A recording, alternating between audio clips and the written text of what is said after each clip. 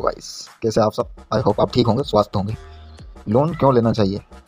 और क्यों नहीं लेना चाहिए? आज इसी पर हम बात करेंगे। एक मिडिल क्लास आदमी हमेशा लोन लेता है और लोन लेकर और पोअर क्लास होता चला जाता है। कारण क्या है? असल में वह लोन लेता क्यों है? आज इसी पर हम बात कर रहे हैं। लोन लेने के बहुत से रीज़न हो सकते हैं। कुछ कारण ऐसे भी होते हैं जिसे टाला नहीं जा सकता, जिससे हम बच नहीं सकते। जैसे हॉस्पिटलिटी लड़की की शादी या कोई आपातकालीन आर्थिक संकट हो।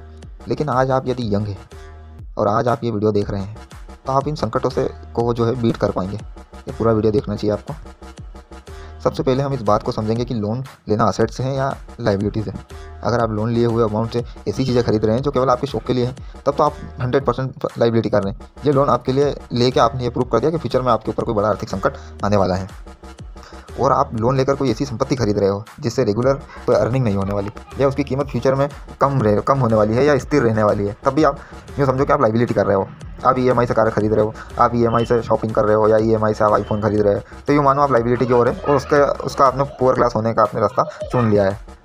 अब बात करते हैं लोन लेकर असेट्स कैसे किया जाए, अमीर कैसे बना जाए, इसमें आपको करना कुछ नहीं है, बहुत ही आसान है, आप लोन तो वैसे भी ले रहे थे, इसमें बस आपको थोड़ा सा चेंज करना है।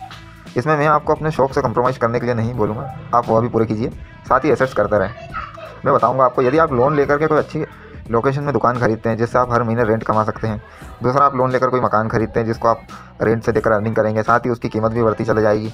ये आपके लिए असेट्स होंगे। यदि आप लोन लेकर कोई को, कोई कार खरीद रहे हो उसे अगर ओला पर अटैच कर रहे हैं या मानो आप असेट्स कर रहे हैं यदि आप ईएमआई से आईफोन खरीदते हैं और रील्स वगैरह बनाकर आप अगर अर्निंग कर रहे हैं तो आपके लिए वो असेट्स होगा।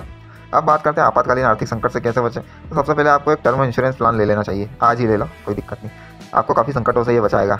दूसरा, आपको अपने बच्चों के नाम से थोड़ा थोड़ा हर महीने इन्वेस्टमेंट करना चाहिए, ताकि फ्यूचर में कोई दिक्कत ना हो।